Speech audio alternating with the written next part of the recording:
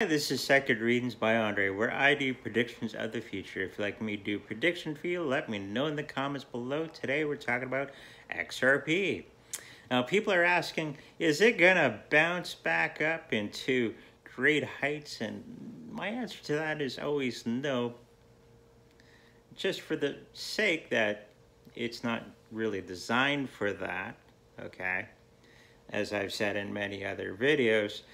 But it seems in the cards that they're having some really hard times with very influential people. Remember, their byline is XRP. It's the company that we keep.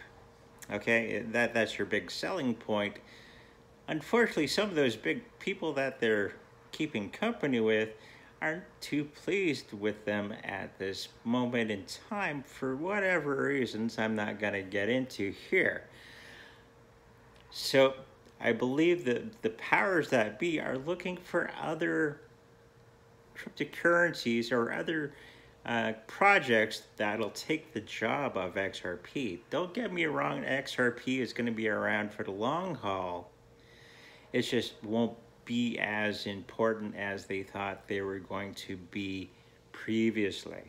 And I know I'm going to get a lot of comments, wonderful comments in my video but that's okay.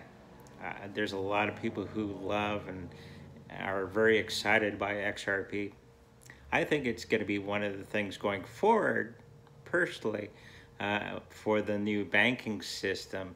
But I believe uh, the banking cartel has their eye on some other projects that are out there.